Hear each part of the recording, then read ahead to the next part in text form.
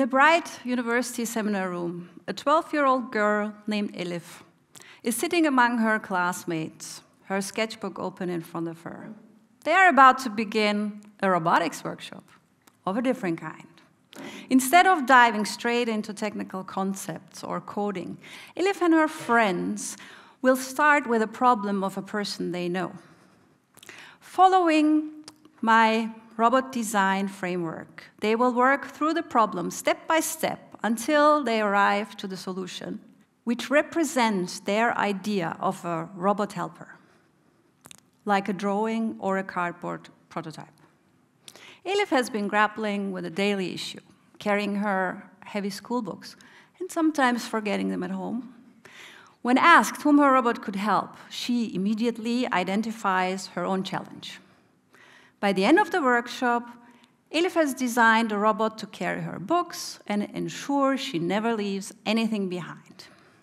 Her cardboard prototype incorporates sensors for navigation, a microcontroller as the robot's brain, and actuators to make the robot move, roll, fly.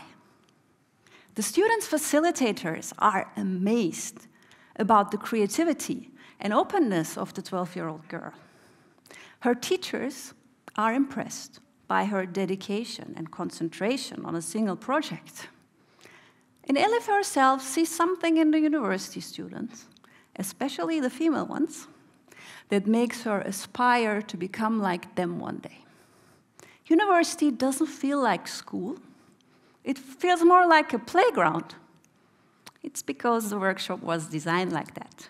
Everyone's creating and having fun. The 12 year olds master small challenges to build up their confidence. At the end, Elif feels confidence that she can build this robot one day. And she proudly presents her design to the others. This is where an innovation begins through playful yet structured learning. Technical universities are unique places for science driven innovation, and they are really important to nurture the spirit of innovation across all age groups. Value creation, in a business sense, isn't the objective of a university. Knowledge creation is. Ethical considerations, integrity, the constant pursuit of truth remain foundational. The outcome is measured in impact on society, not in market value, though a little bit funding would help. My approach to teaching product development combines playful creativity with the essence of scientific exploration. Cultivating a culture of openness, creativity, and the confidence to explore the unknown. I teach various groups young people, university students, professionals to approach problem solving through constructionist learning and participative design by focusing on issues that resonate personally with them. To shake up usual academic routines, I often challenge my students to build a simple object from materials at hand in a very short time. This directs their focus on the process, nurturing a mindset that values experimentation and the courage to try, fail, try again. Through this, students develop the needed flexibility for navigating uncertainty and driving innovation. Hands on co creation is more than lean canvases and prototypes. It's about zooming out to grasp the bigger picture and then zooming back in to create something tangible. Often the outcome is more than a final product. It's a mindset shift that inspires people to broaden their horizons, cultivating openness towards different perspectives and a genuine appreciation for interdisciplinary collaboration. Imagine this venue high ceilings, elegant arches, students, researchers, professionals, attending a prestigious robotics conference. Robots flying, walking, rolling, in between lively conversations, diverse minds exchanging ideas and discussing the future of robotics. An inspiring blend of tradition and modern innovation. I want to focus on three people in this room. There's Michael, a scientist, totally absorbed in his navigation algorithm. All that matters is the pursuit of a technical solution to a scientific problem. He was trained to think like this. He's a specialist, a very good one for that matter. And for the task at hand, this kind of thinking serves him very well. There's Catherine, an automotive industry professional. Her focus is on turning ideas into marketable products. She sees the world through the lens of market needs, scalability, and user experience. And there's Elif, our 12 year old girl from the robotics workshop.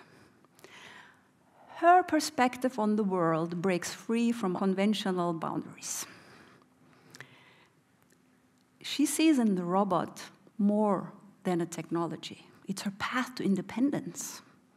To her, technology is about empowerment. What if knowledge creation would be more like a jam session where different kind of thinking, different fields perspective, different worldviews would play at each other to create something entirely new. As Elif shares her problem in her robot prototype, Catherine immediately gets inspired. What if my car would tell me when I forget something at home? What if um, we could build for Elif a self-driving scooter as a second prototype? Engineering students eagerly jump in, already discussing the technical feasibility of such a scooter. With their entrepreneurial drive, scientific understanding, and technical skills, they make valuable partners in the co creation process. At this moment, Michael realizes his algorithm could be the missing part to bring the concept to life.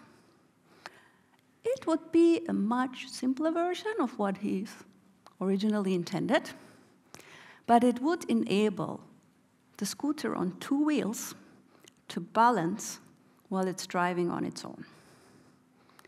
His algorithm isn't just code anymore. It's part of something that could make a real difference.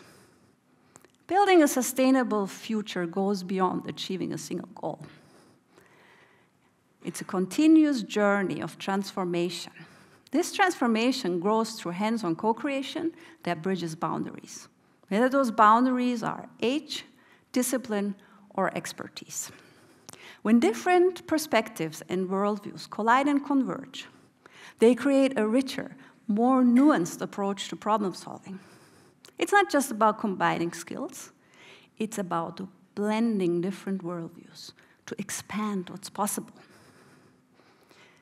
By engaging in hands-on co-creation, we do more than develop solutions.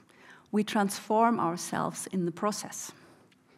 Universities are particularly well suited for this kind of collaboration. They offer not only physical spaces, but also the intellectual ecosystem that fosters scientific understanding, practical skills, and the frame for ethical action. Let's make us this vision a reality. When you go home tonight, consider the challenges in your world and who you could collaborate with to tackle them. Engage in playful interaction with children, young people, or experts from complete different fields to create something tangible and meaningful. Together, we can build a future where sustainability and innovation aren't just goals, but lived experiences. Thank you.